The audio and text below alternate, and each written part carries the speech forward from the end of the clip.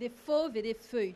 C'est la jungle que ces plasticiens d'origine diverses sont transportés au hall de la mairie de l'Homme.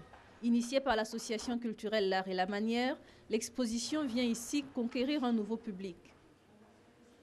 Le choix de venir exposer en mairie euh, est important dans le sens où euh, on veut absolument démocratiser l'art.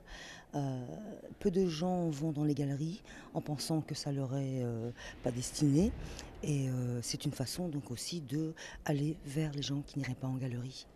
Chacun à sa manière, peintres et sculpteurs redonnent vie aux matériaux usagés d'origine végétale. Papier, tissu et caoutchouc se muent alors en œuvre d'art engagée autour du thème de la jungle.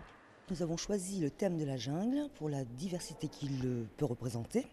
Le livre de la jungle, la loi de la jungle, la jungle dans la tête, la jungle urbaine, ce qui permet euh, ainsi aux artistes euh, d'aller chercher euh, dans ce thème sa sensibilité Ouverte jusqu'à dimanche, l'exposition est le reflet de la diversité culturelle des artistes qui la composent.